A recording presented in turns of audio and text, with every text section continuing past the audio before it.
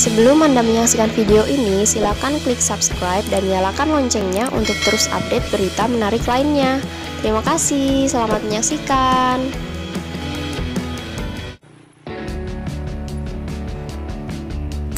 Wisata Kampung Belkok terletak di jalur Pantura, Surabaya, Bali, tepatnya di Desa Kelatakan, Kecamatan Kendit, Situbondo, Jawa Timur.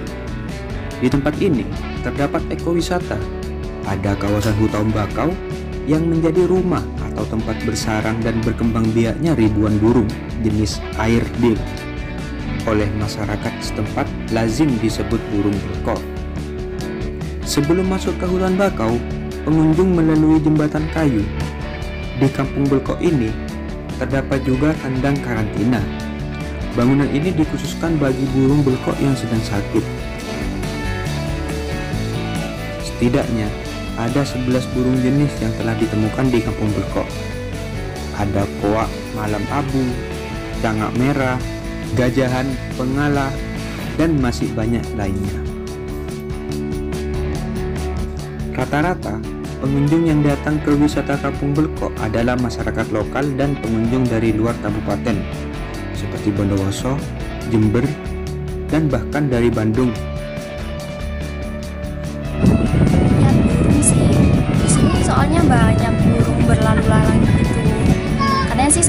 Ribuan, soalnya ke kebetulan ada penangkarannya juga di sini. Burung apa tuh yang ini? Burung blekok. Katanya kalau orang sini nyebutnya burung blekok. Di sini cocok sih buat keluarga, ada tempat makannya juga di bawah kalau mau istirahat.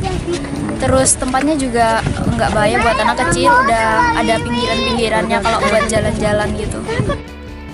Ekowisata Kampung Belkok sendiri telah menerima penghargaan dari Anugerah Wisata Jawa Timur 2019 terbaik nomor satu dengan kategori daya tarik wisata alam.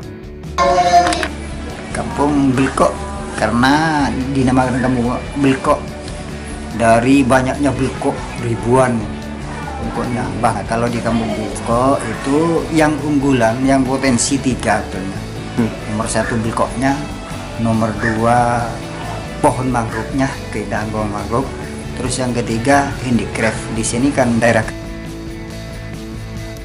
hanya dengan 5.500 rupiah pengunjung sudah bebas berkeliling ke kampung Belkok pada pagi hari, ribuan burung belkok keluar dari sarangnya di hutan mangrove untuk mencari makan. Dan pada petang hari, burung ini kembali ke sarangnya dengan berkelompok. Demikian info bumi aktual.